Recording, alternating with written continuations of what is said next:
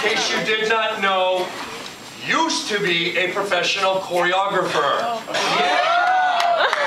Not a dancer, but a choreographer. She once got paid to help people set up how one dances and positioning and movements, etc. She knows the small little details as well as the big mistakes. So Mrs. DeRock has volunteered today to be the judge of the competition worth 10 points.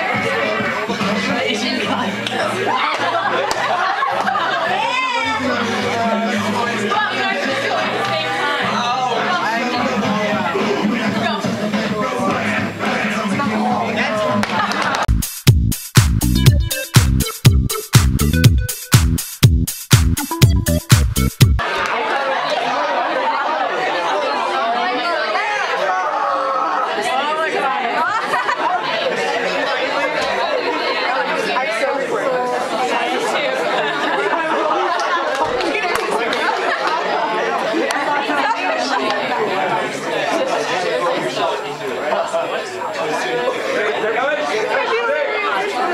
try to get out of here early. Here